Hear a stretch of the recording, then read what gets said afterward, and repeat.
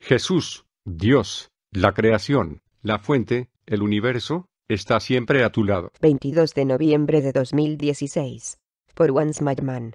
Como ustedes, portadores de luz y trabajadores de la luz son cada vez más conscientes, la humanidad está despertando.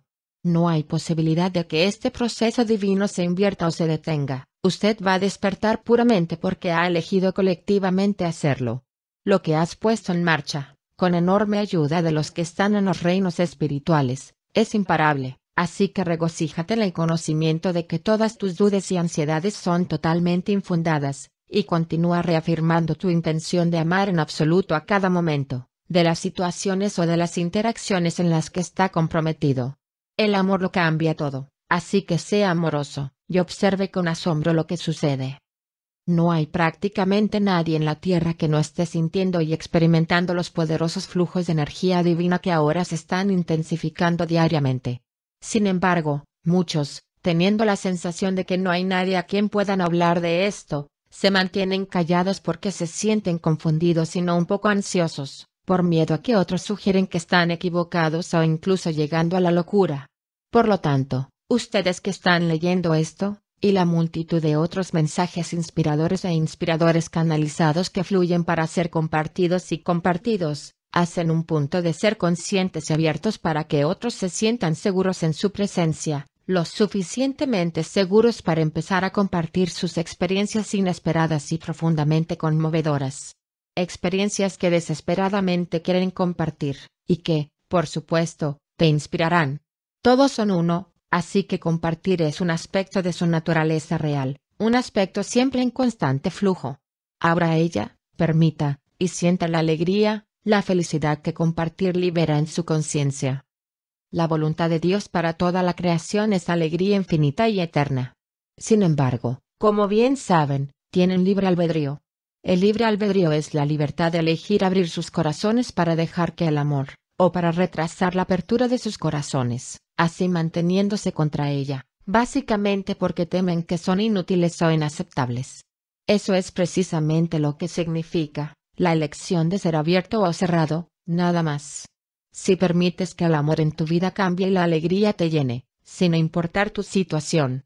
Sí, el amor puede traerle intensa paz y alegría incluso cuando usted está en una situación de dolor, miedo y sufrimiento, y en estados como ese le da la fuerza y el coraje para seguir adelante y a través de ese estado temporal.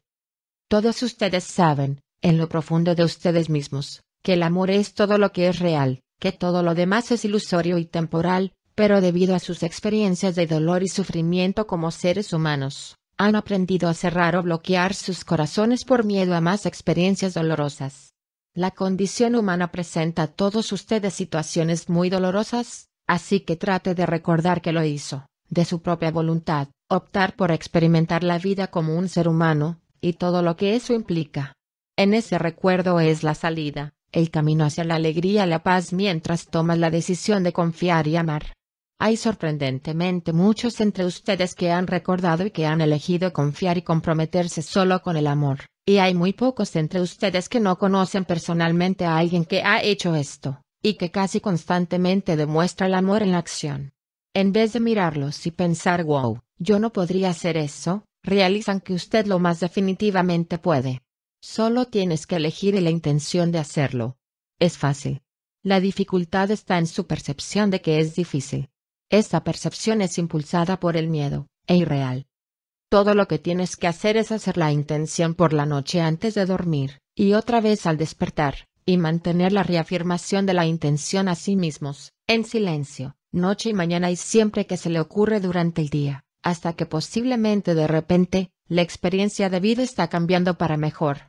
Cuando eso suceda, como lo hará definitivamente, no menosprecie sus esfuerzos desestimándolos y culpando a sus mejores experiencias de vida en su estado de ánimo, su comida, la mejora en su relación íntima porque su pareja ha cambiado, o el clima, todos esos cambios se deben a su intención y a su decisión de seguir adelante con ella. Recuerde que la intención requiere acción. Esa acción puede ser física, como en cómo se relaciona con personas y situaciones, pero es debido a la intención que usted tiene.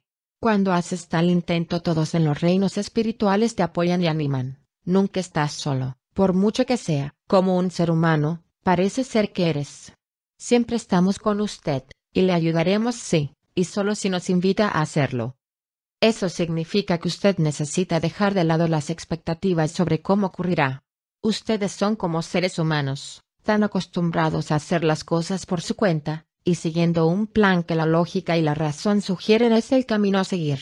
Pero si usted mira hacia atrás sobre sus vidas usted puede ver muchos casos donde las cosas no salieron como usted había planeado y como usted había esperado. Esto se debía generalmente a los impulsos o emociones egoístas temerosos que lo alentaban a hacer algo inapropiado, tal vez manipulador o no totalmente honesto, llevando al fracaso y a la decepción. En su lugar, establezca la intención de un resultado, y luego rendirse al amor. Si se dedica solo amorosamente experimentará paz, satisfacción, aunque el resultado que resulta de su intención puede ser muy diferente de lo que eligió imaginar que sería. Solo ahora.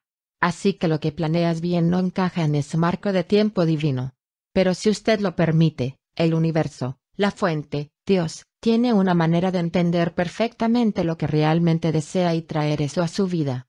La trayectoria a ese resultado es a menudo muy diferente de lo que usted esperó. Por lo tanto, cuando usted ha elegido un resultado que le gustaría ver, mientras se lleva a cabo normalmente con su vida humana, permitir que ocurrencias inesperadas o situaciones que surjan, y en lugar de juzgar como mis pasos o fracasos, tratar con ellos amorosamente, como las oportunidades divinas que han sido amorosamente presentadas para ayudarle a lograr sus objetivos con suavidad y mucho más fácilmente de lo que había imaginado remotamente posible.